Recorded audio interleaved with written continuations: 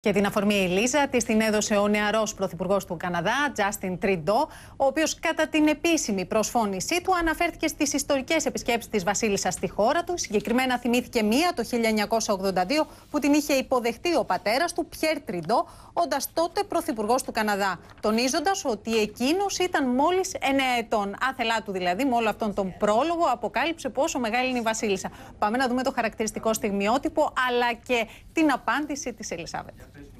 On that cool day in Ottawa, seated beside you, was my father. Pierre Elliott Trudeau was your fourth Canadian Prime Minister. I am your twelfth. Thank you, Mr. Prime Minister of Canada, for making me feel so old.